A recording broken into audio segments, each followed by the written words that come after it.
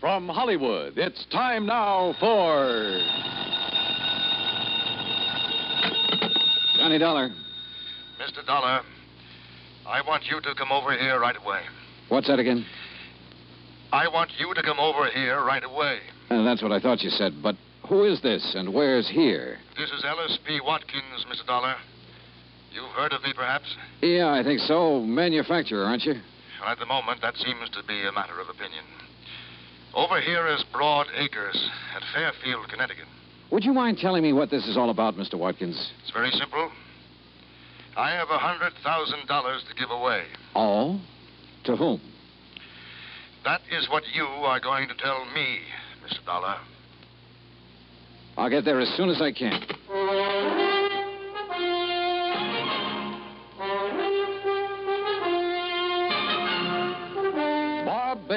In the exciting adventures of the man with the action packed expense account. America's fabulous freelance insurance investigator. Yours truly, Johnny Dollar. And now, Act One of yours truly, Johnny Dollar.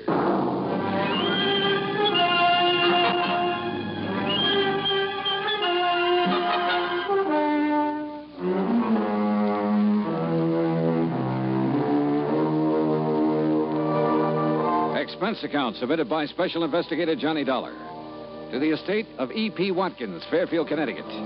Following is an account of expenses incurred during my investigation of the Happy Family matter.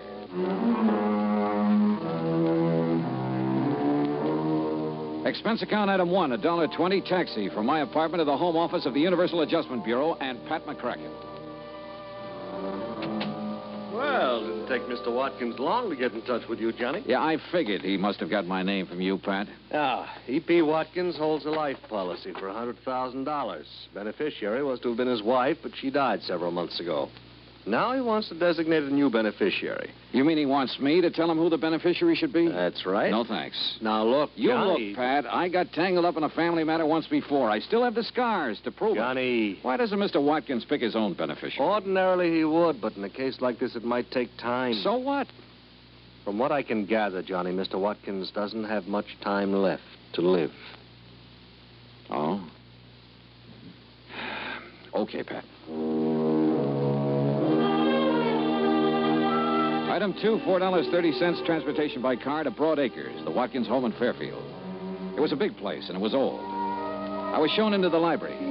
E.P. Watkins was sitting in front of the fire. I could see that he wasn't well, but there was still a lot of strength in his face.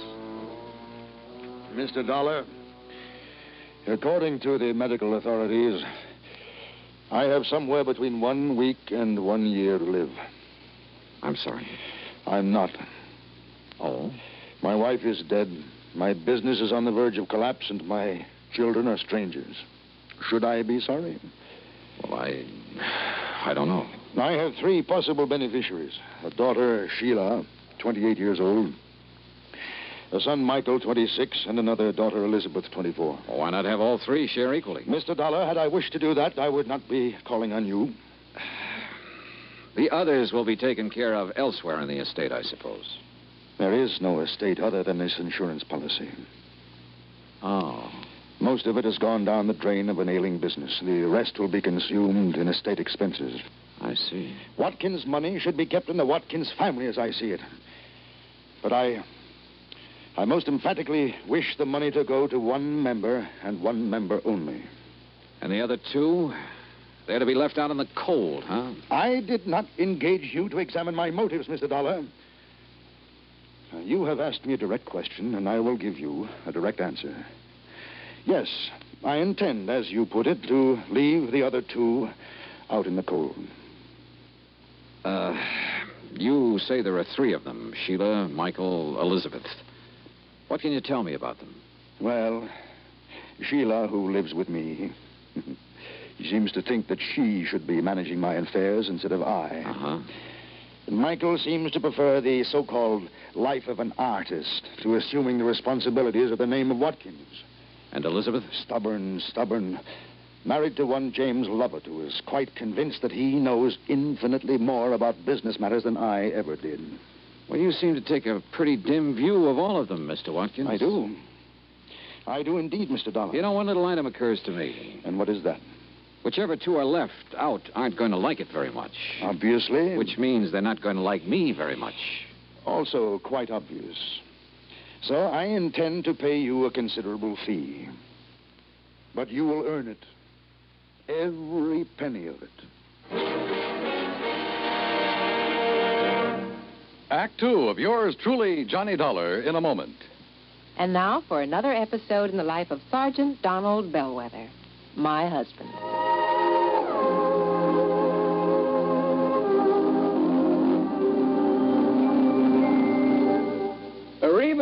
Everything packed in this duffel bag? Yeah, everything but these, Sarge. Oh, let me see that bottle.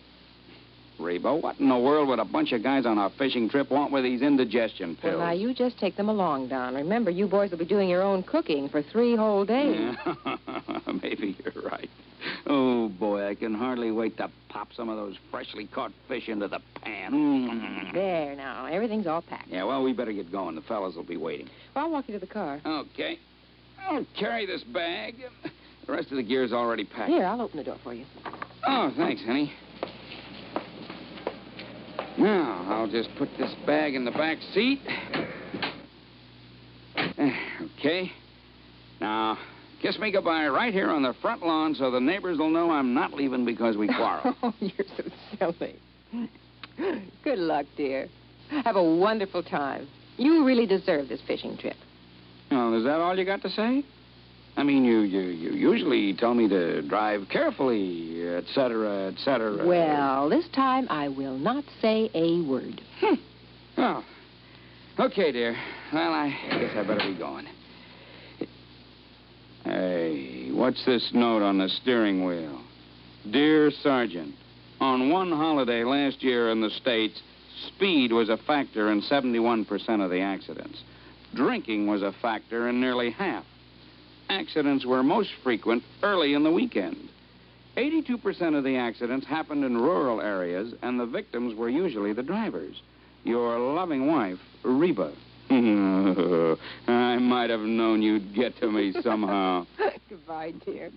Oh, I'm going to miss you. Oh, I'm going to miss you too, Reba. And don't you worry. I'll drive safely. That's my Donald. That's my doll.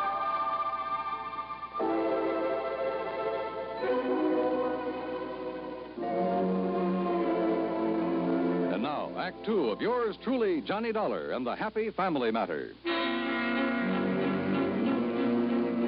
Well, this was undoubtedly the weirdest assignment I'd ever been handed, and from one of the weirdest characters I'd ever met, E.P. Watkins. And yet I couldn't help feeling sorry for him. He was really alone. And somewhere along the line, he must have been hurt pretty badly. I left the library and started through the drawing room. Mr. Dollar, Hmm? I'm Sheila. Oh, yeah. I'd like to talk to you for a moment. Sure, why not? Mr. Dollar, I know what you must think of my father. Oh, do you? But if you're inclined to judge him harshly, just remember he wasn't always like this. Oh, So, so very many things have gone wrong for him. like what? Like, well, I'm afraid the main thing is his feeling that the three of us, Elizabeth and Michael and I, have let him down somehow. He seems to resent us so terribly. Why should he, Sheila? I'm not sure. I think he resents me because I'm not a man. Oh? You see, I'm the oldest. And in many ways, I'm more like Father than the others are. If I'd been a man, I could have, well, taken over for him. Yeah, I see. I've tried to do what I could, help make decisions, that sort of thing. But I think he somehow resents that, too. Well, I, I gather it hasn't exactly been easy for you living here with him. Somebody has to. And the others have lives of their own. hmm Uh, speaking of the others, I'd like to talk to them. Where can I find them? Elizabeth and her husband live in Cranford, New Jersey. And Michael's in New York, in Greenwich Village. Okay. Thanks, Sheila.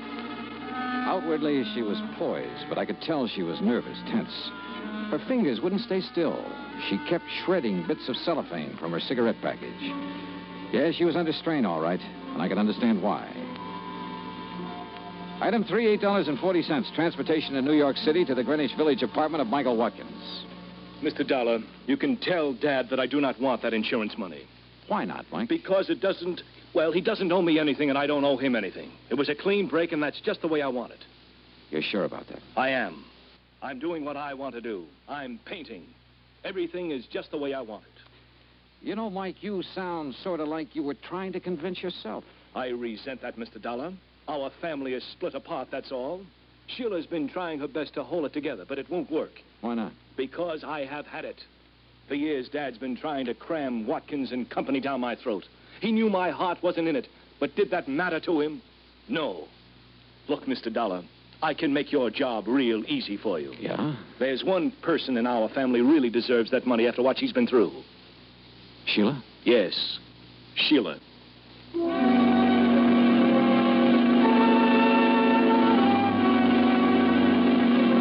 Item four, six dollars even. Transportation to the Lovitz home in Cranford, New Jersey. Look, Mr. Dollar, if sending you here is some scheme of Dad's to, well, to force us into line, you're wasting your time, and so is he. Now, wait a minute, Elizabeth. After the please. way he's treated Jim. Relax, honey. That's all over and done with. Look, Dollar, I can simplify your job for you. Can you? Give the insurance to Elizabeth here, Why? because then I can get my hands on it. Oh? Well, what would you do with it, Jim? Buy a controlling interest in Watkins and Company and put the business back on its feet. You once worked for Watkins and Company. Why did you leave? Because he's still running it the way he did 30 years ago. It won't work, and I wouldn't be a part of it. Jim tried, Mr. Dollar. He really did. But Dad wouldn't even listen to him. For years, he tried to get Mike to take over the business. But Mike prefers to be off in Never Never Land painting those lousy pictures of Now, his. Now, Jim. They are lousy, and you know it, Liz. Look, uh, Jim, you say Mr. Watkins didn't give you a chance to put your ideas into effect, huh? No. Finally, things got to the breaking point. Dollar, I sent him a written contract guaranteeing I'd raise the necessary financing. I asked for only six months in charge. Contract. But he wouldn't accept your offer, huh? No. Sheila begged him to sign. Finally, he sent word back for me to tear up the contract and get out of the company. I see. Well, Dollar, you've met all three of us now. Who's going to be the beneficiary? Sheila, or Mike, or Elizabeth?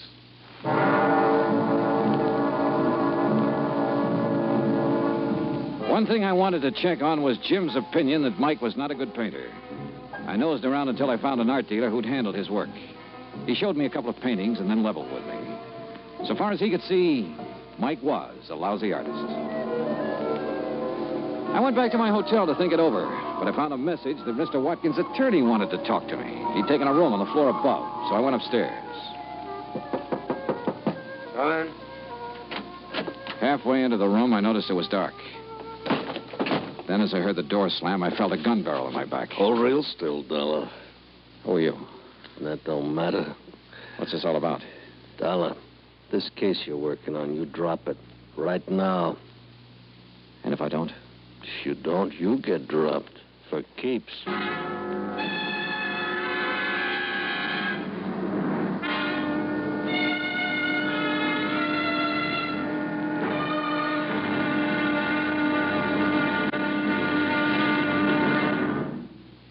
Of yours truly, Johnny Dollar, in a moment. Do you know who said, That man is free who is protected from injury? Those words came from Daniel Webster, one of the most eloquent orators in American history. Webster knew that a man could not be free unless he lived in a country which recognized his right to freedom and created laws to protect that freedom. A slave state may say that its citizens are free, but as long as a single citizen can be harmed by the whim of a country's rulers, true freedom does not exist. A man is free only if his rights to freedom are protected. Remember the words of Daniel Webster. They are part of your American heritage. The free man must be protected from injury. And now, Act three of yours truly, Johnny Dollar, and the Happy Family Matter.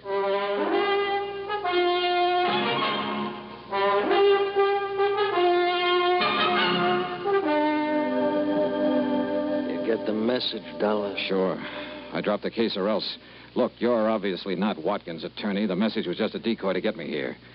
Who hired you to give me Don't this warning? get so nosy, Dollar. You got the warning. It's the main point. Just to make sure you get the message. I'd seen what was coming and ducked, then swung and knocked the gun out of his hand. He gave me a knee in the oh, stomach that flat.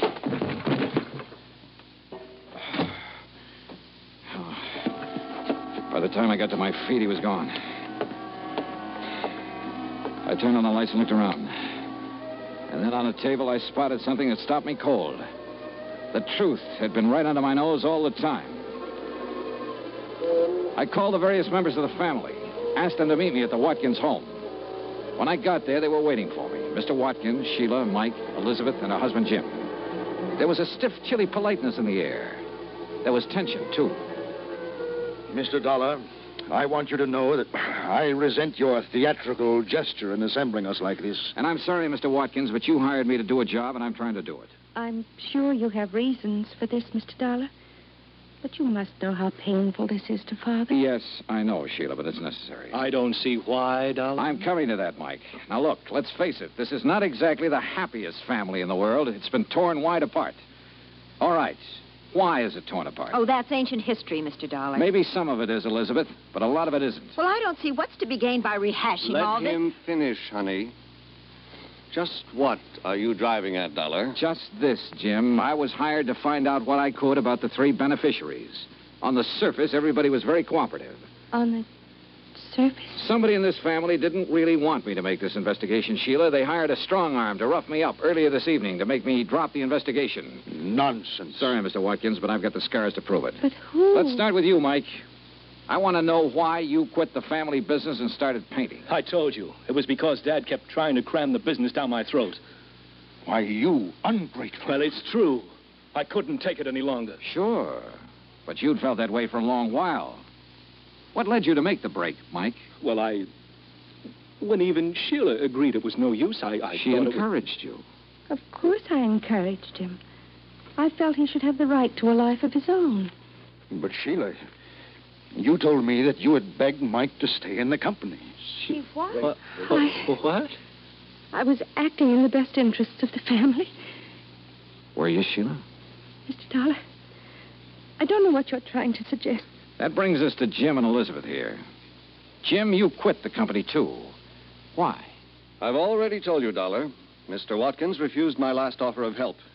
Kicked me out. Well, that's not true. What offer are you talking about? That contract I sent you. What contract? You never saw it, did you, Mr. Watkins? I most certainly did not. But I. Wait a minute. I gave the contract to Sheila. She said it'd be better if she handled it. Then she told me later she discussed it with her father and he refused. Sheila, you lied. Well, Sheila? Mr. Dollar, I refuse to discuss. Sheila, you you have a nervous habit of shredding cellophane cigarette wrappers to bits. In the hotel room where that hired strong arm jumped me, I found a little pile of shredded cellophane near the ashtray. Sheila. Uh, I, I don't understand. Mr. Dollar, do I understand that you're suggesting it's, it's been I who've torn the family apart? Well, Sheila, Yes, Father. Why? I, I'm not sure. I don't know.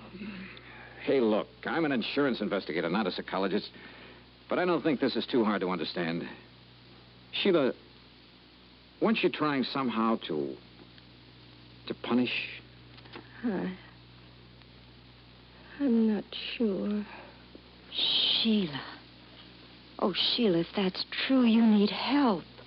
They. They all had a life of their own. Except me. We'll help you, dear. We'll get help for you. I hated what I was doing. But I just couldn't seem to. to help myself. Mr. Dollar, you will understand that I am rather bewildered by all this. I do, Mr. Watkins. Now, you suggest that she was deliberately trying to. to tear the family apart in order to punish someone. Well, that's only a guess, Mr. Watkins, but I think it's probably a good one. Then she was trying to punish me. I think so. Hmm. Should I understand why? Did she ever have a life of her own? Was she ever allowed to have one? Mr. Dollar, I requested you to designate a beneficiary for me. That's right. I now request you to suspend further action for the time being. It appears the matter requires further thought.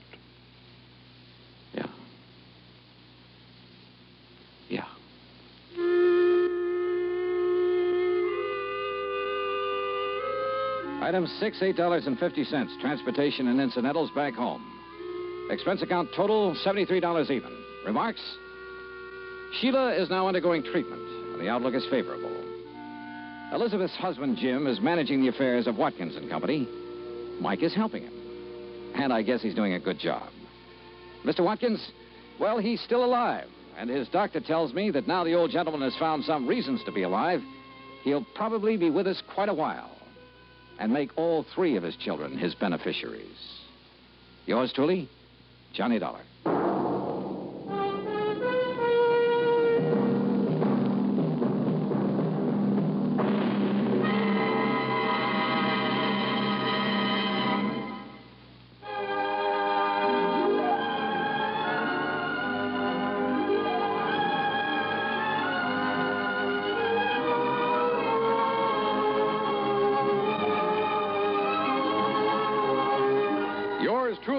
Johnny Dollar, starring Bob Bailey, originates in Hollywood and is produced and directed by Jack Johnstone.